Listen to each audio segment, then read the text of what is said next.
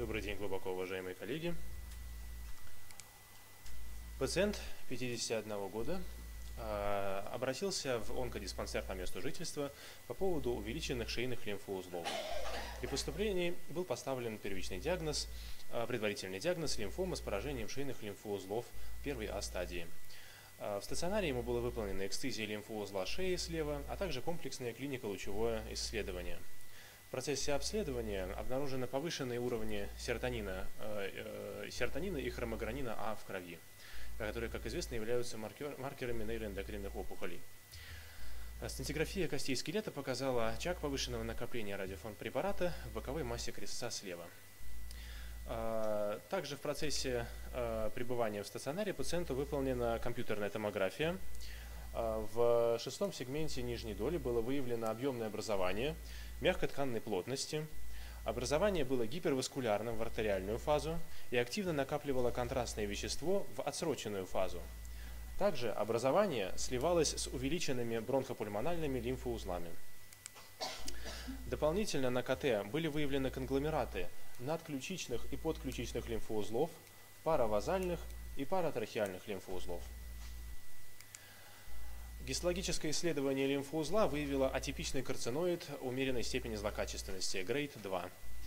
А, окончательный диагноз звучал как нейроэндокринная опухоль левого легкого с низкой степенью злокачественности, вторичное положение, поражение лимфоузлов и костной системы. А, пациенту рекомендована терапия а, химиопрепаратами, бисфосфонаты, гормональный препарат актриотид депо в течение всего 2015 года и динамическое наблюдение. Однако, несмотря на проводимое лечение, к концу 2016 года зарегистрировано прогрессирование заболевания, которое выражалось в увеличении размеров образования в легком, увеличении поражения внутригрудных лимфоузлов, появление нового метастатического очага в теле пятого грудного позвонка – также в конце 2016 года был проведен пересмотр гистологического материала в Германии, подтвержден диагноз нейроэндокринной опухоли э, низкой злокачественности, и индекс Ки-67 а, был уточнен на уровне приблизительно 10%. С целью э, определения стадии заболевания рекомендовано проведение ПЭТ-КТ всего тела с тордезоксиглюкозой в Израиле.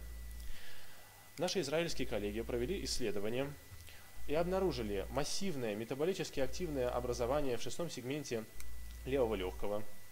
Также они выявили конгломераты надключичных, подключичных, а также внутригрудных лимфоузлов, метаболически активный очаг в теле пятого грудного позвонка, а, три метастатических очага в печени и поражение а, крестца.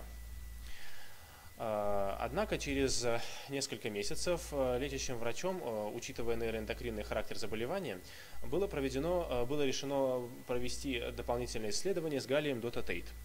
В связи с чем пациент поступил к нам на отделение для проведения исследования. Мы провели сканирование. В самом образовании и лимфоузлах мы выявили аналогичные очаги накопления. Однако наблюдались также некоторые несоответствия – Например, один из метаболически активных очагов в печени был негативен на дотатейт. Также были и другие несоответствия. Например, дотатейт помогла а, выявить существенно большее количество а, метастатических поражений а, в костях скелета, например, в позвонках и в тазовой кости мы продемонстрировали несоответствие результатов ПЭТ-КТ, выполненной с двумя радиофармпрепаратами. Фтордозоксиглюкозой, позволяющей визуализировать жизнеспособные опухолевые клетки, и галлием дотатейт э, рецептор-специфичным трейсером, предназначенным для диагностики нейроэндокринных опухолей.